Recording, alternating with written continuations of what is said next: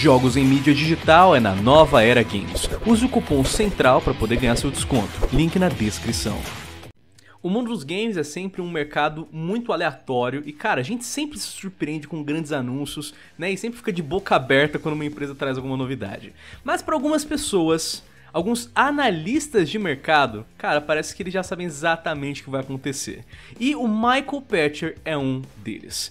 Galera, aqui quem fala com vocês é o Lion da Central e hoje eu e o White a gente vai falar, vai mostrar para vocês o cara que prevê o futuro do mundo dos games. Como eu já falei, é o Michael Patcher, ele que é um analista de mercado e ele, cara, basicamente definhou o que vai acontecer em 2019 e muitas coisas já estão acontecendo. Então a gente vai contar tudo para vocês que ele já disse que vai rolar. E cara, vocês vão ver, pelo jeito que as coisas estão indo, parece que ele vai acertar em tudo, né, cara?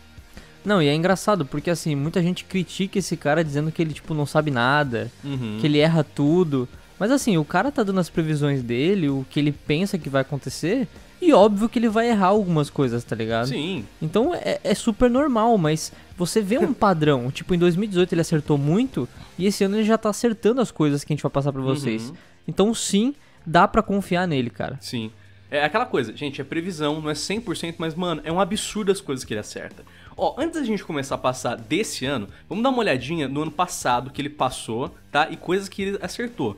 Ele falou que o Xbox One X ia reduzir o preço para até 350 dólares. E cara, rolou a Black, a Black Friday e realmente ele abaixou para 250. Então ele acertou isso.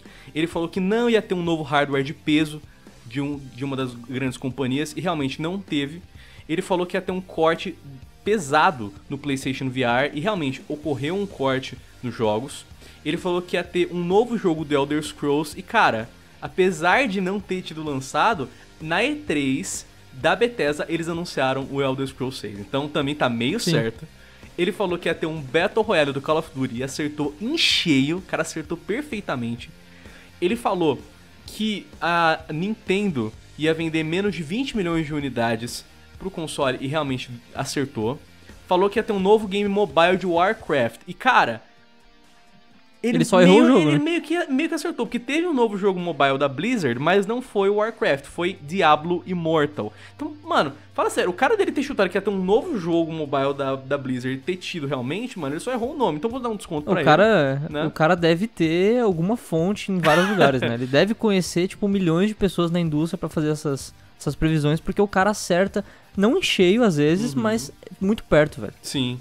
E, e para fechar, ele falou que ia continuar rolando flops em mercado mobile da Nintendo, acertou perfeitamente. E por último, ele também falou que a Rockstar Games não ia fazer novos grandes anúncios. E realmente não teve nada. A gente só teve aí o, o lançamento do Red Dead Redemption, mas daí já tava, é, já tava avisado faz Anunciado, né? tempo, entendeu? Então, cara, ano passado ele acertou muita coisa. Teve muita coisa mesmo que ele acertou.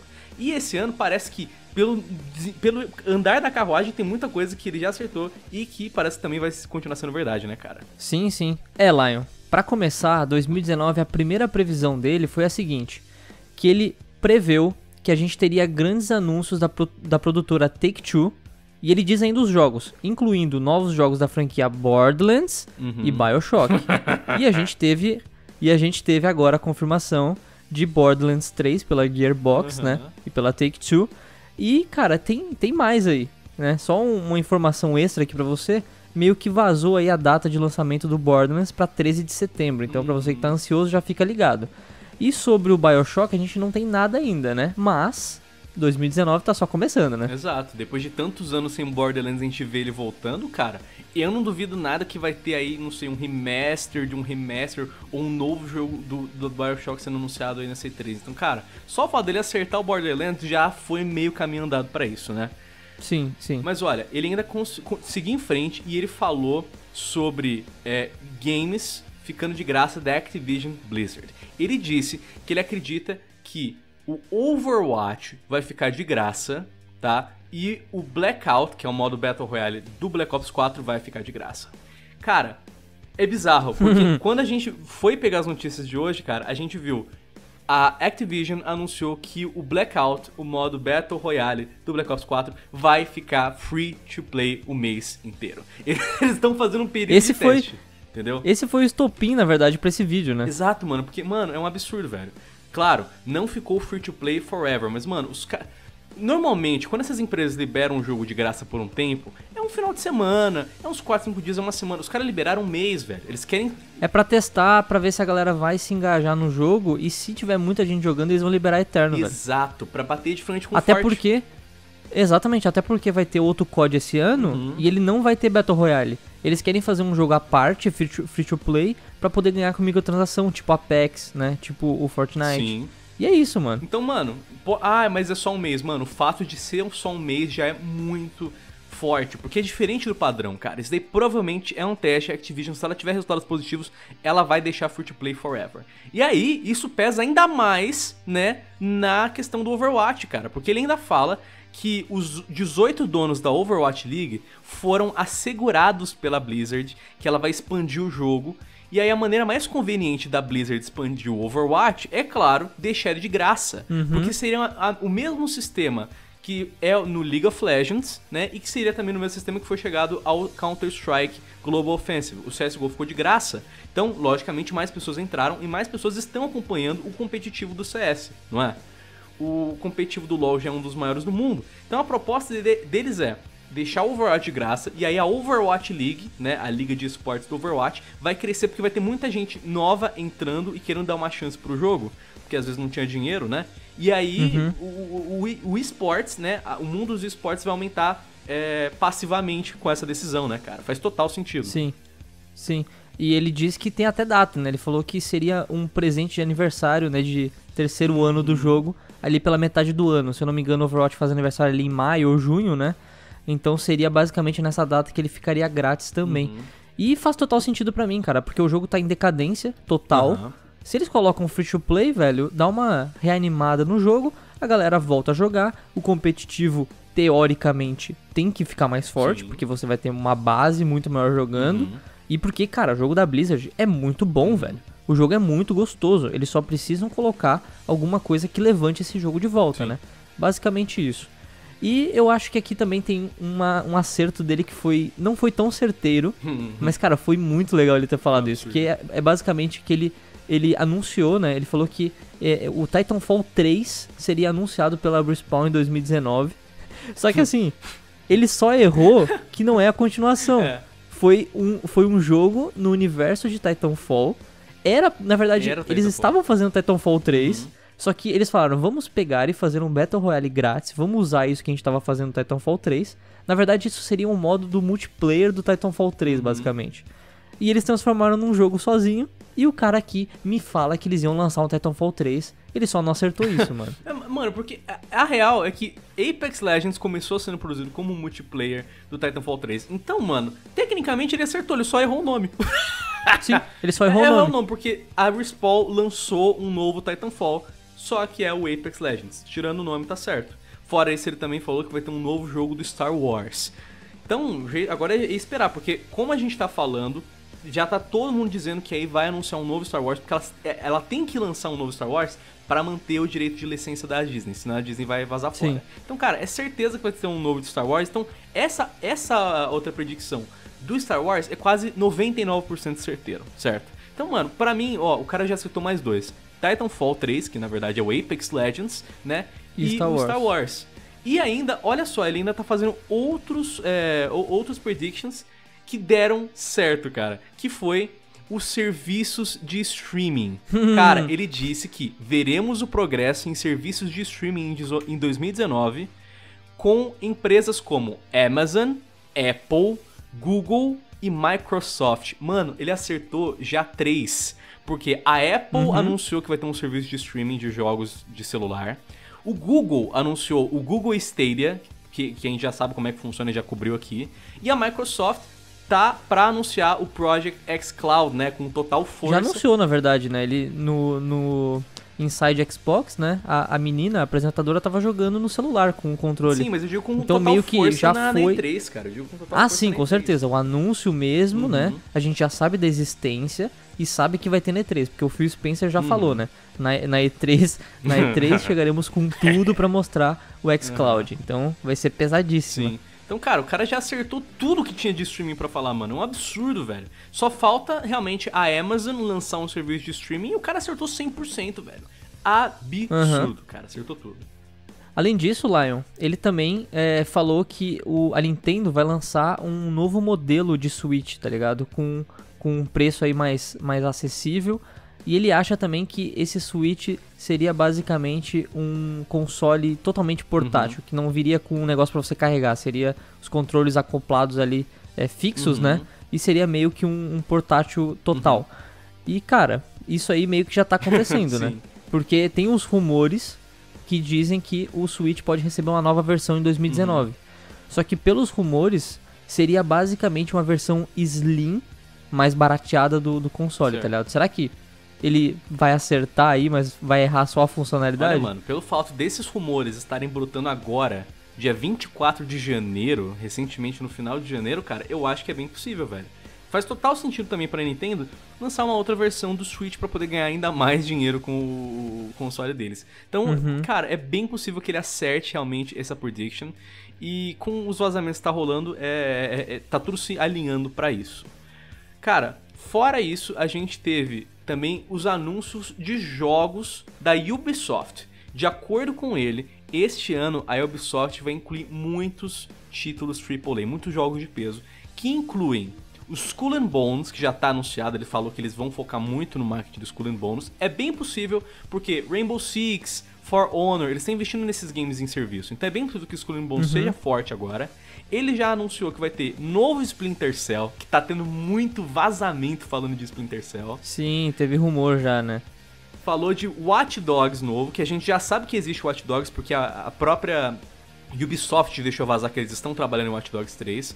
E sa saiu vazamentos recentes falando que o Watch Dogs 3 vai sair esse ano em Londres, vai ser um, um Watch Dogs em Londres, então é bem capaz mesmo. E o mais bizarro é que ele falou que vai ter um novo Rainbow Six, cara.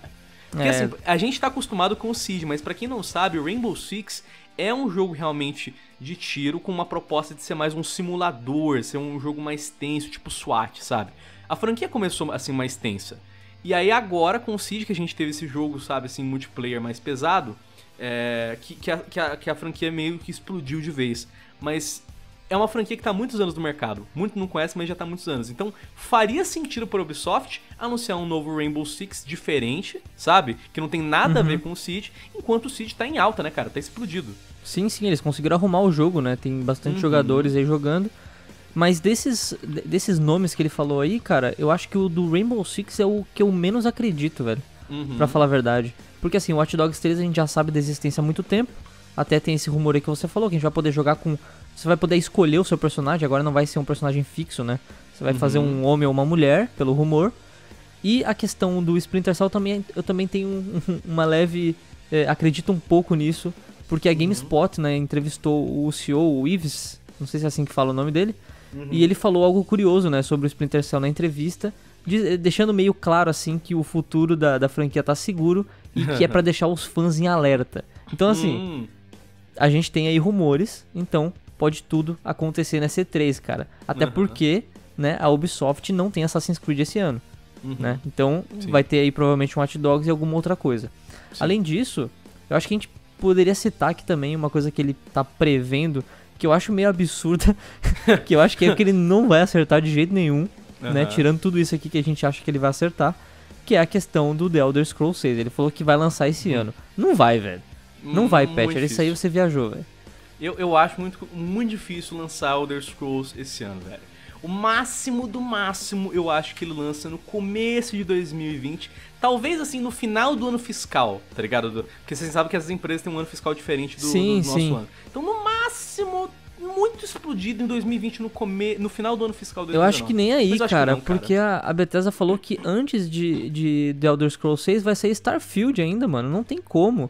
E É. outra, a Bethesda falou, esse ano não tem nada de Starfield nem The Elder Scrolls na E3, velho. Não vai ter nada.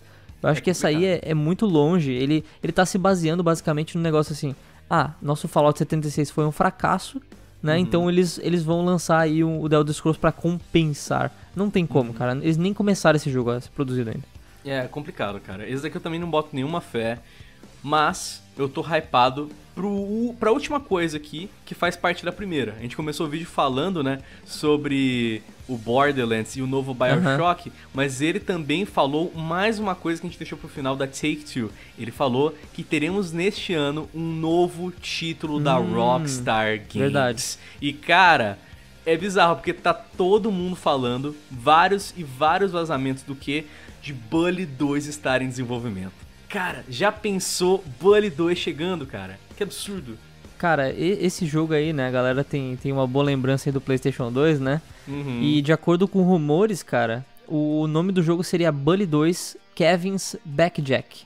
Uhum. E a revista Game Informer tirou, né, do, do ar essa, essa foto que tinha. E agora a gente fica na esperança, né? E aí, vai ter ou não vai? né?